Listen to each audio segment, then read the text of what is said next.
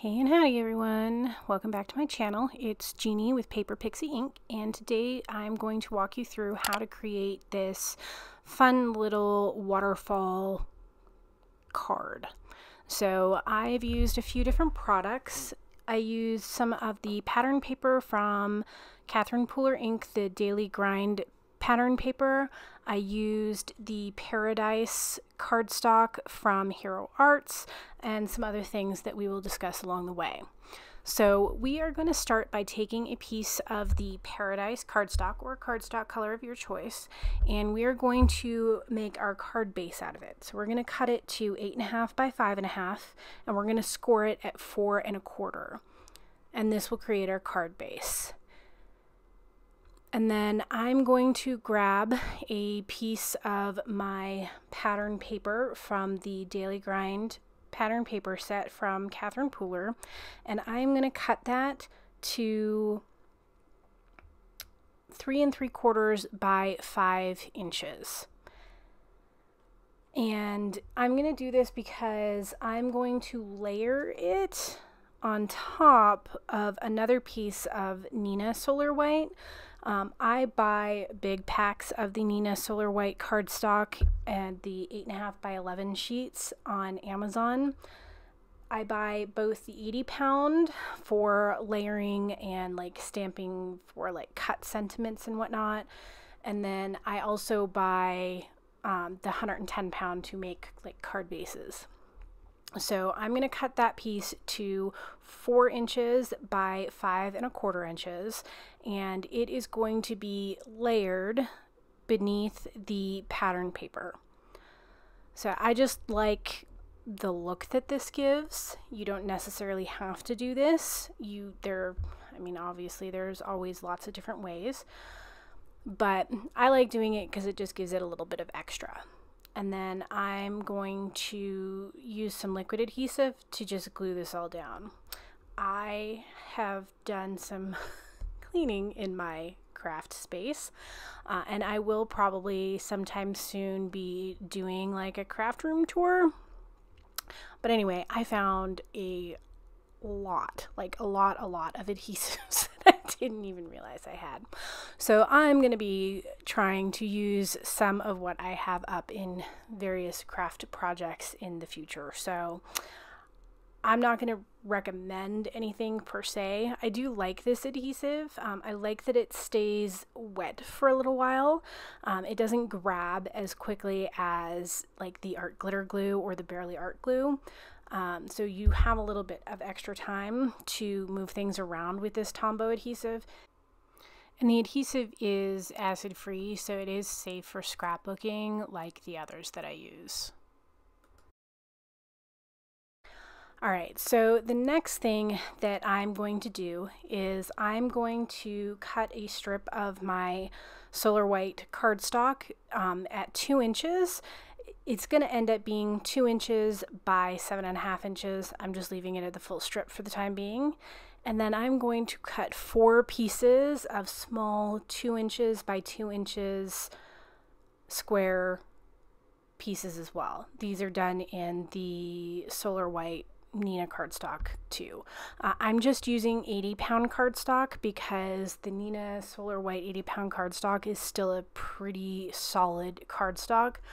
You could use 110 pound. Um, it will make the pull down element um, of the waterfall a little bit more sturdy, but it will also add quite a bit of extra bulk to your card.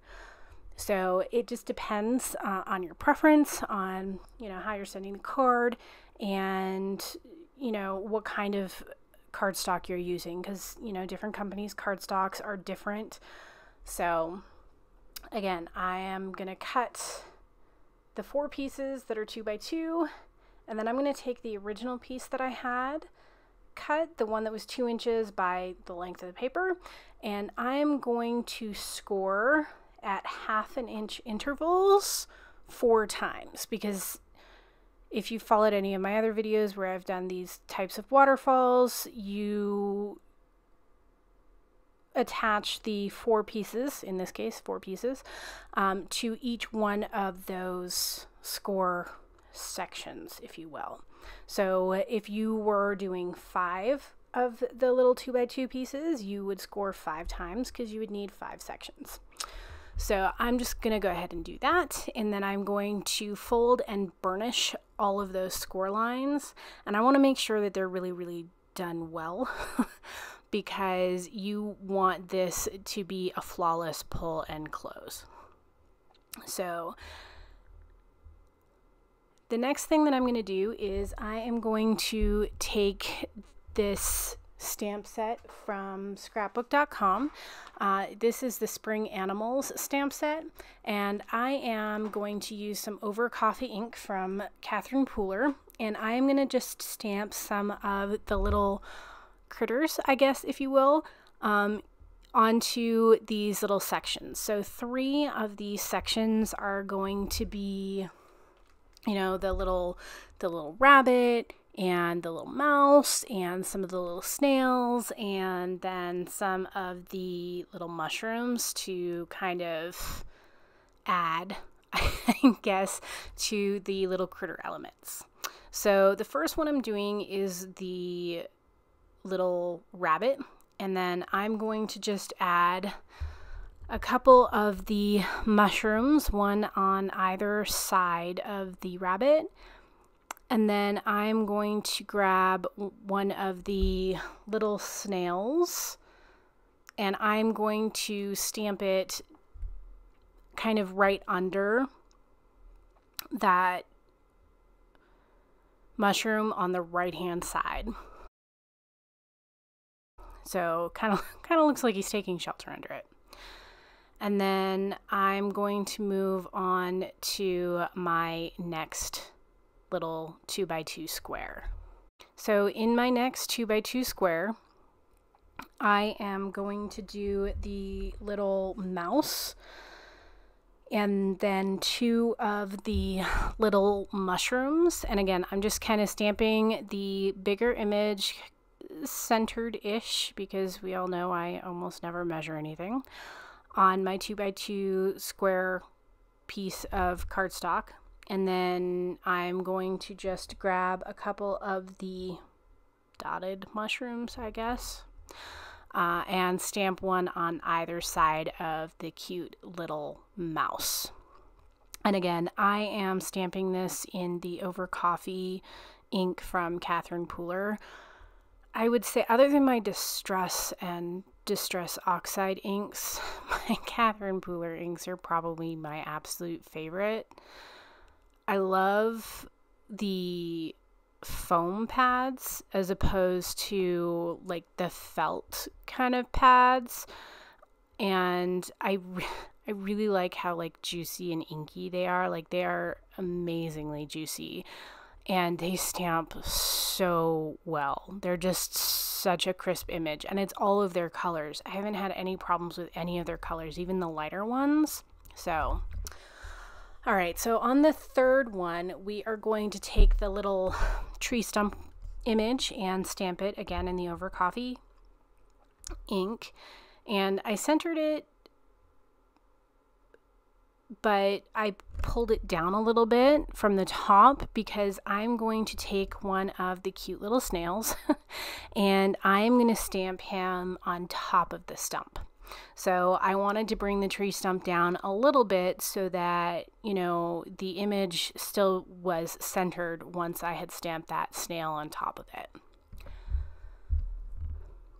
So to do the last little square, this is where I'm going to stamp a sentiment. And I'm still going to use the same stamp set, um, but I am going to use the Hello Spring sentiment from the set. It's a really pretty script font, and I just, I'm kind of over over winter at the moment and I'm kind of wishing for spring. So I'm going to stamp this in the Cummerbund ink from Catherine Pooler. It's a really pretty color and it goes obviously pretty well with the not only the Hero Arts cardstock that we use, but the Daily Grind pattern paper. um, that we used on the front of the card as well. So I'm going to stamp that and then I am going to stamp um, for the inside of my card. So I, whenever I do a colored card base, I like to add a piece of white on the inside so that I can write my note, stamp my sentiments, what have you on that. So I'm going to cut that down to four inches by five and a quarter inches. And then I am going to take, there's a little like fox stamp in the stamp set. And I'm going to stamp that. Again, I'm going to stamp that in the over coffee ink. And I'm just going to stamp it in the bottom right hand corner of that white cardstock. Just to add a little bit of a, an extra element to the inside of the card. And then once I am done stamping that, I am going to take my liquid glue and I am going to glue it down on the inside of my card base.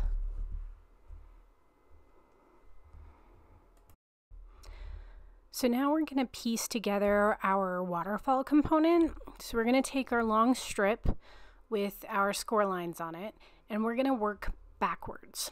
So I want the Hello Spring to be the last thing that pops up when you pull it down. So I'm going to put that one on the first section of my scored cardstock. And I'm just going to use some liquid adhesive and push it down kind of right at the score line on that first section. And then I'm going to repeat this for the other three. And I'm just going to put a little bit of glue and place them down. And I'm going to do it kind of in reverse order to how I created them. So the next one is the little log, and then I'm going to do the little mouse with the with the mushrooms, and then the very top one and the last that will apply is the little rabbit. So the little rabbit is what you see on the front of the card.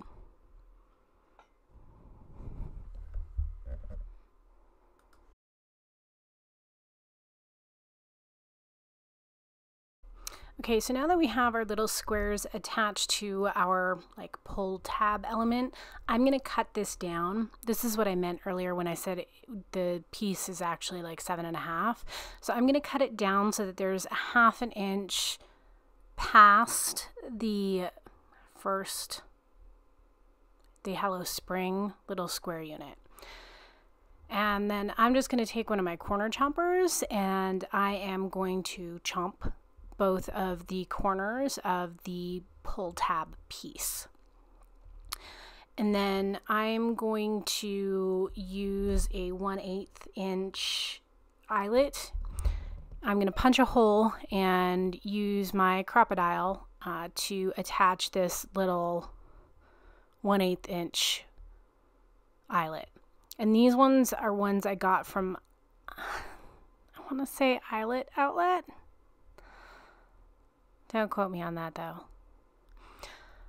So I'm just going to eyeball the center and I'm only going to put it a little a little ways up. So it's only like an eighth of an inch up from the bottom of that little pull tab. I'm going to drop in the eyelet and then I'm going to use the 1 8 inch setting on my Crop-A-Dile to push it down. And then I have some like pink and white baker's twine in my stash. I'm just going to cut a small piece off and add it to my eyelet so that there's something a little bit more to grab than just the cardstock.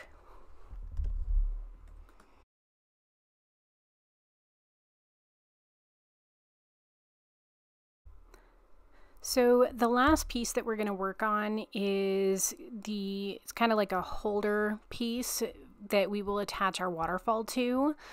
So we're going to take another piece of white cardstock. You could do this with pattern paper. You could do it with the solid cardstock in the paradise color.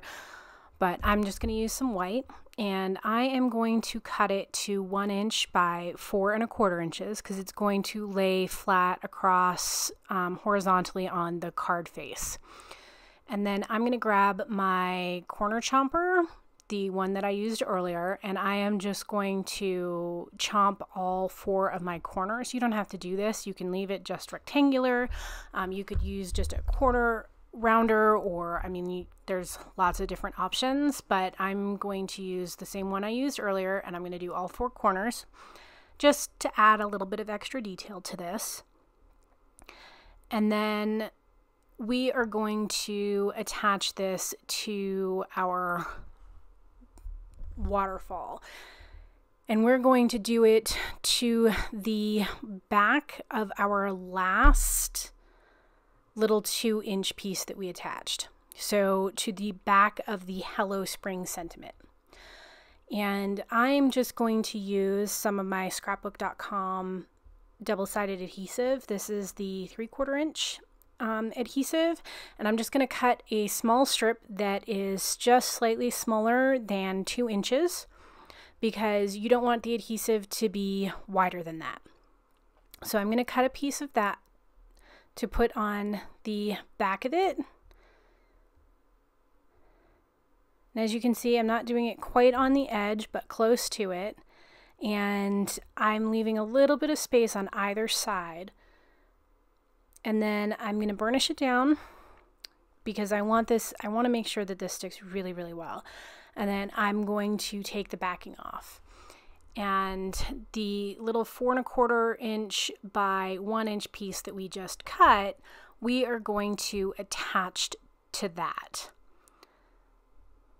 So I'm just going to eyeball it and try and make sure that it is relatively centered. You can measure, like you could mark center on your little waterfall feature and center on your little four and a quarter by one inch tab that you created. I'm too lazy for that. um, but you would probably get a better, more straight result if you did. Once I have it placed, I'm just going to push it down so that it adheres really well to that double-sided adhesive. And then I'm going to flip it over and I'm going to apply glue on the back side of the two side tabs that are, you know, poking out. So when the stamped images are on the other side. And then I'm going to flip it over and I'm just again going to eyeball the center and push it down onto my card front. So the only piece of this element that is glued down to the card front are the two side tabs that stick out.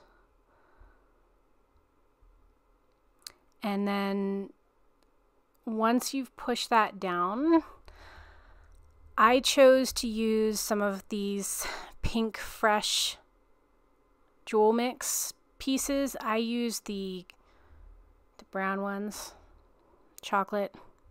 I'm sure they have a name. I will look it up and include it in the description.